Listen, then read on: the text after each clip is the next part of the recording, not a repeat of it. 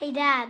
Hey, what? Why do boys fart louder than girls? Why do boys fart louder than girls? Yeah, I I, I don't know. because they have a microphone and two speakers.